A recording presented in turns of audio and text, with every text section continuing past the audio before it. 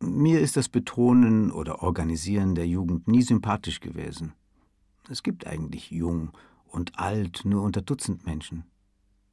Alle begabten und differenzierteren Menschen sind bald alt, bald jung, so wie sie bald froh, bald traurig sind. Sache der Älteren ist es, freier, spielender, erfahrener, gütiger mit der eigenen Liebesfähigkeit zu verfahren, als Jugend es tun kann.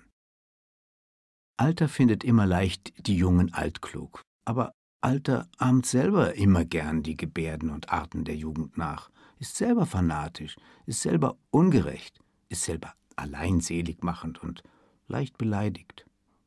Alter ist nicht schlechter als Jugend, Lao Tse ist nicht schlechter als Buddha, Blau ist nicht schlechter als Rot. Alter wird nur gering, wenn es Jugend spielen will.